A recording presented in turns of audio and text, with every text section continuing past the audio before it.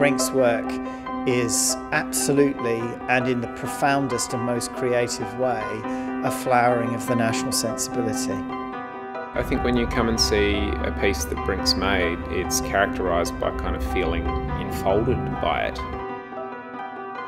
Brink allow artists to sort of dream big and they're really good at making those big dreams come true. Uh, this one, legs, Mr. Hadley Mason's patient. Operating three, go to the front of the queue, don't take no for an answer.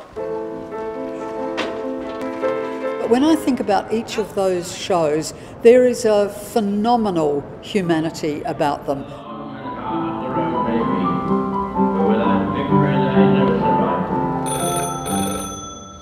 Intellectual engagement, emotional engagement, an aesthetic sort of love of the beauty, a kind of joy in playfulness of it.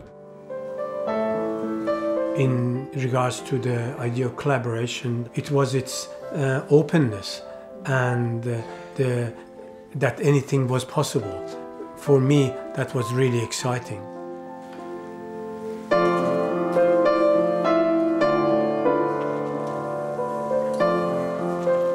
Brink does something that should happen more frequently but doesn't.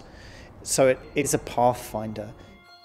You're in the midst of watching a show and you know that it's going to sit in your head, not just for days or weeks, but actually for years and years and years.